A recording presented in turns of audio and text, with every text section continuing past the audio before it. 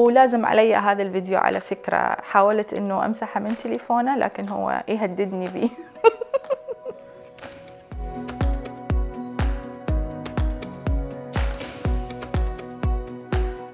أهلا واضح. كلوديا حنا. أغرب موقف صار وياي مع المعجبين. يعني هي هواية مواقف الصراحة صارت وياي غريبة. لكن أغرب موقف إنه في وحدة آه، هي وزوجها فأجتي تخطبني زوجها. كنت بأحدى الحفلات بشرم الشيخ فأشوف وحدة طول الوقت تقول لي أنا أريدك في موضوع أريدك في موضوع وجايبت لي هدية وكذا. هذا أغرب موقف عدى علي. والغريب بالموضوع مو إنه ما كانت مسحة كانت حقيقة. وهي اللي مختارتني إنه أنا أكون ضرة ليها. المعجبين يكون عندهم مواقف آه، آه، يعني كوميدية. هم أنا مرة خلصت حفلة أحد ينطيني الكاميرا فيقول لي إنه نتصور. فأنا توقعت إنه هو منطيني التليفون دا أتصور معاه. فقال لي لا أنت تصوريني أنا وزوجتي. له أنا اللي اصور قال لي من من أشوف الصورة. أقول هذه كلوديا حنا اللي صورتنا.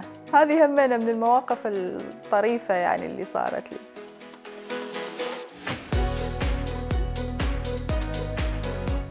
إيه أكتر حاجة مجنونة عملتها في حياتي. هو شنو أكثر شيء عاقل أنا سويته بحياتي؟ كله تقريبا اللي سويته كان بمس من الجنون يعني لكن الجنون اللطيف. أنا أحب هذا الشيء. سويت skydiving آه وسويت آه رياضة الغوص. آه لكن آه جتي حتى آخذ ال license لازم يكون يعني بها آه غطس. آه والغط والغطس رقم 12 لازم تكون آه بالليل الساعة ب 12 ونغطس على عمق معين في البحر. فرحت للبحر وبلشت أنزل. بعدين حسيت إنه اني ما قدرت راجعت مباشرة بصراحة ما قدرت خفت.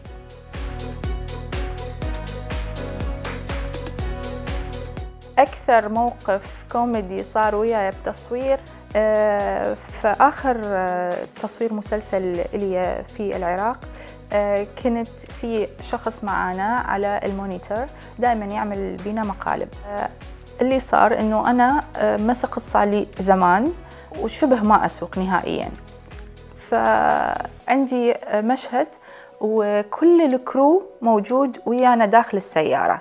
فأنا أسوق وأوقف أسوق وأوقف أسحب brake وادوس brake أدوس brake. فأنا إيش دا أقول؟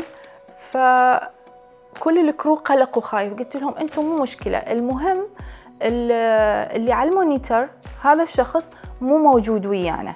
فهم كلهم ضحكوا. فأنا لفيت لقيته already هو ورا ودا يصورني دا يسوي ويا المقلب. يعني أنا already مدا يصورني live بالموضوع. ولازم علي هذا الفيديو على فكرة. حاولت إنه أمسحه من تليفونه لكن هو يهددني به